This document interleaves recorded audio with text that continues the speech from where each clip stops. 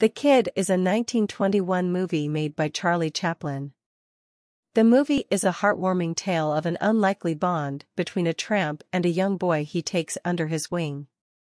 The movie is a perfect mix of humor and emotion, with Chaplin's signature physical comedy leaving the audience in stitches. The story is beautifully told and explores themes of love, compassion, and the importance of family. The young Jackie Coogan delivers a fantastic performance as the titular kid, and his chemistry with Chaplin is undeniable. The movie is also notable for its technical achievements, with impressive camera work and clever editing techniques. The iconic scene where Chaplin fights with other men to protect the kid is a masterclass in physical comedy and still holds up to this day. The Kid is a true masterpiece that showcases Chaplin's unparalleled talent as a filmmaker and entertainer.